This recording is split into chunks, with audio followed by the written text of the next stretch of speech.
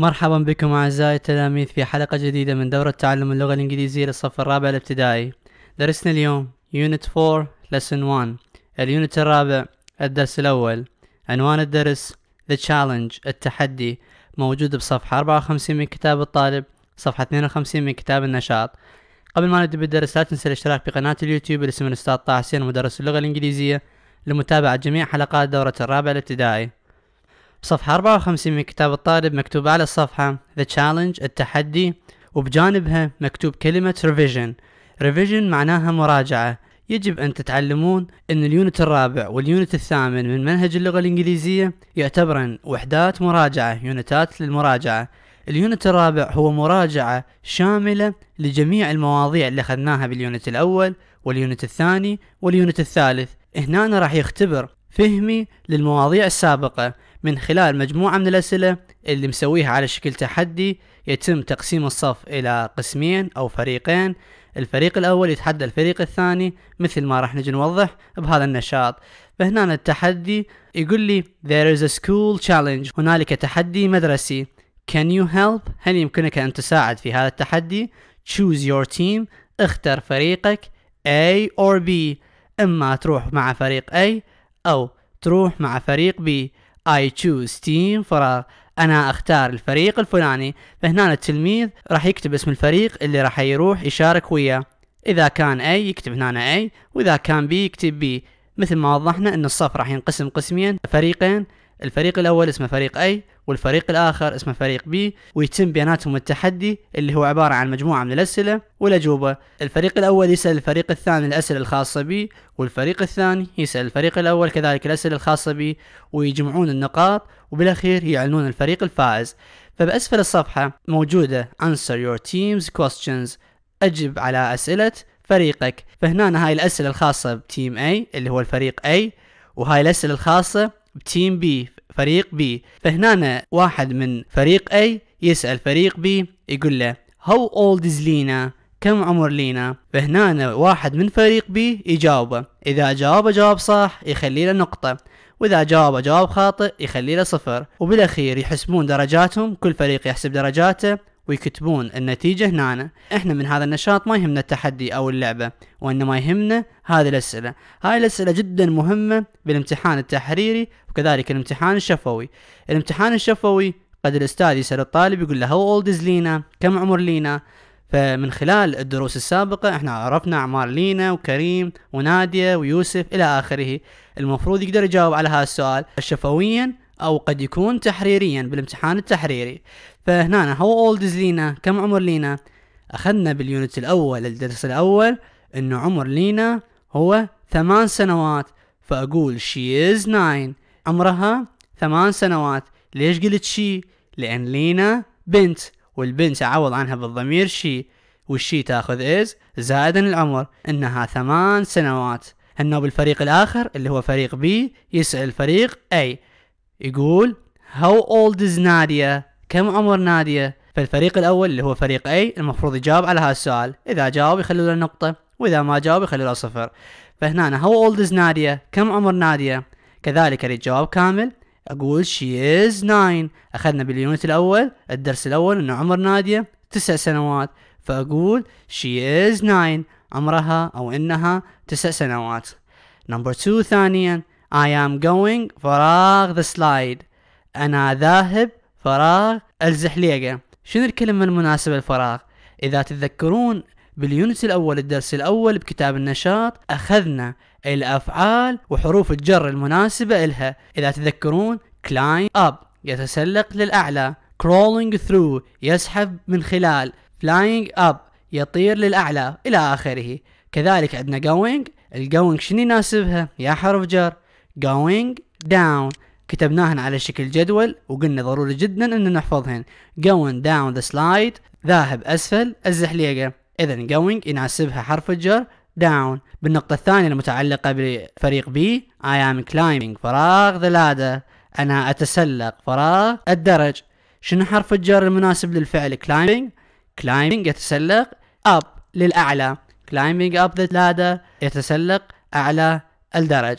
نمبر 3 ثالثا there فراغ some pens in my bag. هنالك بعض الأقلام في حقيبتي. شنو الكلمة المناسبة للفراغ؟ إحنا عرفنا إنه there يجي وراها أما is أو are. إذا كان الشيء اللي أعبر عنه مفرد أخلي is وإذا كان جمع أخلي are. فالبنز الأقلام نلاحظ إنه هاي أس الجمع بن قلم. بنز أقلام. اذا هذه جمع. فعند الجمع شو أخلي للذير أخلي لها are. تصير there are some pens in my bag. هنالك بعض الأقلام في حقيبتي. السؤال المتعلق بالفريق الآخر. There. فراغ. A toy bear in my bag. هنالك لعبة دب في حقيبتي. خلي is لو are بما انه الشيء مفرد الدب مفرد فأخلي is.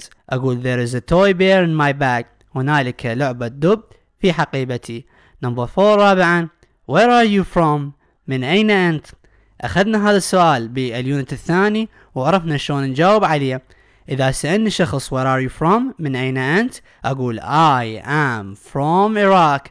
أنا من العراق. السؤال المتعلق بالفريق الآخر. What language do you speak? إحنا عرفنا إن language معناها لغة. ما اللغة التي تتحدثها?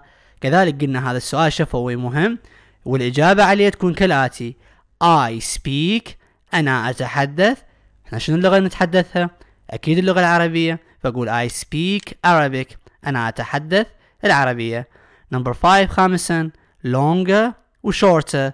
أنا مخيرني بين اختيارين. هاي الجملة شخلي لها؟ longer لو shorter. خلنا نقرأ الجملة. A ruler is فراغ than a pen.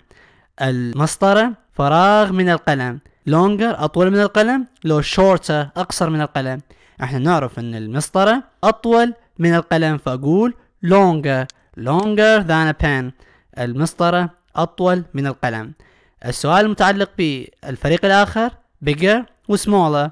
مخيرني بين أكبر وأصغر a van is فراغ than a car.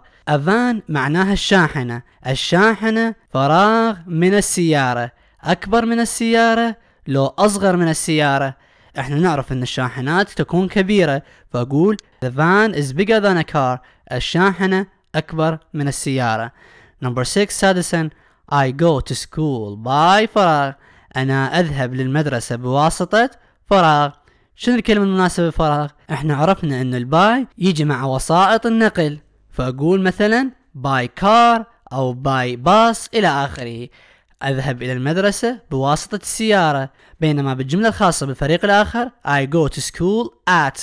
إحنا عرفنا إن الات تستخدم مع الأوقات فأقول I go to school at مثلا 7:30 أذهب إلى المدرسة الساعة السابعة والنصف. هذا ما يخص الأسئلة المتعلقة بفريق A وفريق B. أسئلة جدا مهمة بالامتحان الشفوي وبعضها من الممكن أن تجينا بالامتحان التحريري مثل الجملة الخامسة أو الجملة الأولى ويعطيني اختيارين. إلى آخره. لذلك ضروري جدا أني أحفظ هذه الجمل أحاول أكتبها بالدفتر أراجعها أكثر من مرة قبل ما أروح الامتحان المتعلق بنصف السنة. ننتقل إلى كتاب النشاط التمرين الأول Write your own rhyme. اكتب قصيدتك الغنائية and choose a name. واختر اسم. هنا ننتبه منطيني قصيدة غنائية ناقصة. يطلب من عندي أن أكملها بالكلمات اللي منطيني إياها بكل جملة. مثلا الجملة الأولى أنا كاتبين رقم واحد معناها أختار لها كلمات من ذن الكلمات الخاصة بالجملة الأولى. فمثلا أي فراغ is longer than فراغ. الفراغ أطول من فراغ. أجيب كلمتين مناسبات لهذا الفراغ. أكملهن ذن الفراغات راح تصير عندي قصيدة غنائية. فمثلا river نهر road طريق بنانا موزة snake حية train قطار. فشنو الكلمة اللي أخليها بالفراغ الأول؟ أطول من الكلمة اللي أخليها بالفراغ الثاني.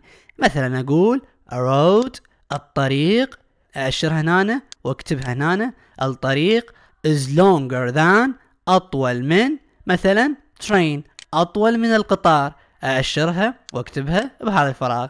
بعد and number فراغ is bigger than 10 ورقم فراغ أكبر من رقم عشرة. شنو الرقم من ذن الأرقام أكبر من عشرة؟ كل ذن الأرقام صحيحة. فأختار رقم مثلا وليكن عشرين. أخليه هنا. أقول and number 20 is bigger than 10 ورقم عشرين أكبر من رقم عشرة. Number 3 ثالثا. A فراغ is taller than B. الفراغ أطول من النحلة. شنو الكلمة المناسبة؟ cat القطة. Elephant الفيل. Dog الكلب. Horse الحصان لو لايون الأسد. أي كلمة أخليها من ضمن كلمات صحيحة. مثلا أقول horse a horse is taller than a bee. الحصان أطول من النحلة. And my فراغ and فراغ are older than me. وفراغ وفراغ أكبر سنا مني. شنو الكلمات المناسبة للفراغ؟ كذلك أروح للجملة الرابعة. Friend صديقي. Grandma جدتي. Grandpa جدي. Brother أخي. Sister أختي. مثلا أقول my friend صديقي أكتبه هنا. and my brother وأخي أكتبه كذلك هنا. my friend and my brother صديقي وأخي older than me أكبر سنا مني. so I am younger than them. لذلك أنا أصغر سنا منهم. you see هل ترى؟ number 5 خامسا. أي فراغ is smaller than a فراغ. الفراغ أصغر من فراغ. كذلك نشوف كلمتين مناسبات الفراغ. Pear الكمثري. watermelon الرقي. grape العنب. plum الخوخ. مانجو المانجا. فكذلك أختار كلمتين. كلمة أصغر من كلمة أخرى. فأقول مثلا grape العنب. وأكتبها كذلك هنا. A grape is smaller than العنب أصغر من مثلا watermelon الرقي. Number 6 سادسا and I am فراغ than that man. وأنا فراغ من ذلك الرجل. Older أكبر سنا. Shorter أقصر. Younger أصغر سنا. Taller أطول. Bigger أكبر. إلى آخره. فاختار مثلا أقول shorter. أأشرها هنا وأكتبها بالقصيدة الغنائية. And I am shorter than that man. وأنا أقصر من ذلك الرجل. Let's say these words together again. فلنقل هذه الكلمات مرة أخرى. Longer shorter older younger bigger smaller taller and shorter. هذا ما يخص هذا النشاط. مجرد أختار كلمات من التمرين الأول أحطها بالقصيدة الغنائية تكون مناسبة للقصيدة الغنائية أكمل بها الفراغات. على مود تصير عندي قصيدة غنائية خاصة بي. هذا مجرد نشاط صفي غير مهم بالامتحان التحريري أو الامتحان الشفوي. هذا كان درسنا لهذا اليوم. ننتبه للأسئلة المتعلقة بالتحدي أسئلة جدا مهمة نحاول نحفظها ونحفظ الأجوبة المتعلقة بها ليش؟ لأن راح تفيدني بالدرس القادم إن شاء الله تحديدا بكتاب النشاط وكذلك راح تفيدني امتحان نصف السنة سواء كان الامتحان الشفوي أو الامتحان التحريري. ختاما شكرا لمتابعتكم للفيديو. أي سؤال أو استفسار أو إضافة تحبون تقدموها تقدرون تتواصلون وياي على حسابات الموجودة معكم على الشاشة.